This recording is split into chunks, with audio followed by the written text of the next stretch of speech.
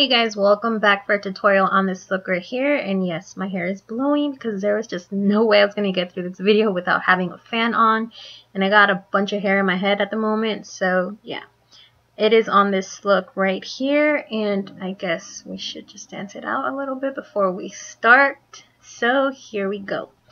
Using the Revealed 2 palette from Coastal Scents, we are taking that first shade as our highlight shade, and we are using three dark colors out of this palette. And here is the first shade right here. It's a mauve pink color, and we are placing these colors on the outer and inner corner, and then connecting them in a crease. Pretty much leaving the middle of our eyelid blank because we are placing a shimmery color there. But yeah, first place those colors down and then blend them out. Whenever I use this silver brush right here, I'm blending out, so just so you know. And then taking the second dark shade, placing it in the exact same spots.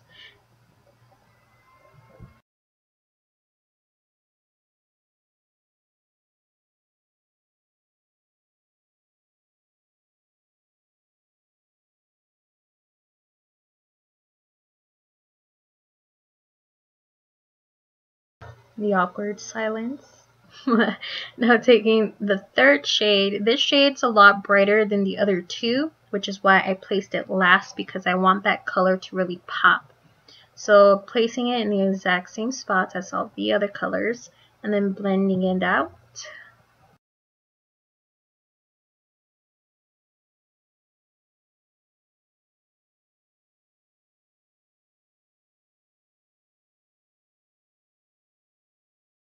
Taking this foiled eyeshadow from Makeup Geek, this is what we are placing in the center of our eyelids. And I'm just using my finger because I just feel like it packs on the color a lot better using my finger and then just blending it out really softly so it looks like it's fading. And that is pretty much it on the eyes right here. So now I did some wing liner. There's no way I can do wing liner on camera, but there you go. so as of now, the eyes are done. So we're going to get into the face makeup priming the face with a this is a Too Faced primer. It's like a sample size. I'm not sure the name on it but I'll list everything down below. Placing that first and then taking my MAC Pro Longwear Concealer NW25 I like to use this to help conceal some of the acne scarring I have going on so I do that before applying my foundation and the foundation I'm using is a Smashbox Studio Skin 15 Hour Wear and it's in 3.1. I got a new shade so this one fits me a lot better because I'm getting tan and just blending it out with my beauty blender. Not even kidding, my legs are sweating from having this laptop sitting on top of them. all nasty. But moving on to concealing, I'm using this NYX HD Concealer in SCW04. It should be. I'm just placing that under the eyes and a little bit on the forehead and down the nose and everything. And I look, it looks kind of harsh, but I think it's because of the lighting. But yeah, just blending everything out and then we are going to set it with the yellow powder from the Kat Von D Shade and Light palette. And after this, we are moving on to bronzing our face using the MAC Mineralized Skin Finish, I think. And Dark Deepest is the same thing I've been doing in quite a few of my videos.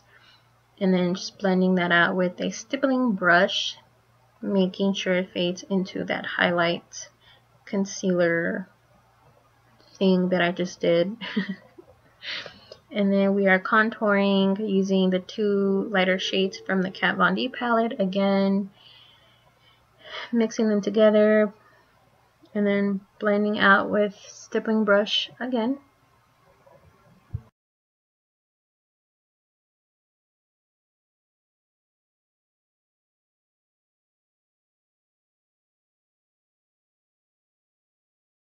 For blush, I'm using a NARS blush. I think it should be Dolce Vita. I'm pretty sure it is. and then just blending that out with stippling brush again and then for highlighter I'm using the Becca Opal highlighter placing that on the cheekbones, on my nose, and my cupid's bow.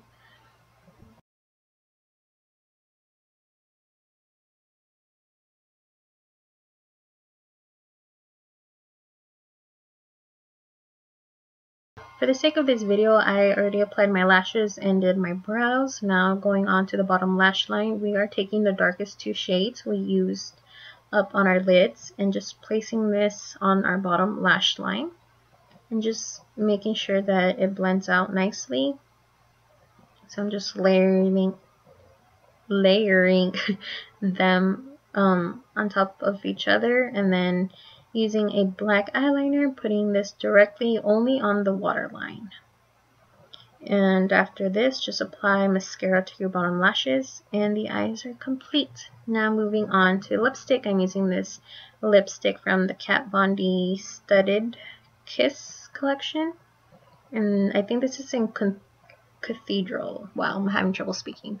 But this has been my favorite lipstick lately. And that is it on this look right here. So hopefully you guys enjoyed it. Easy and simple.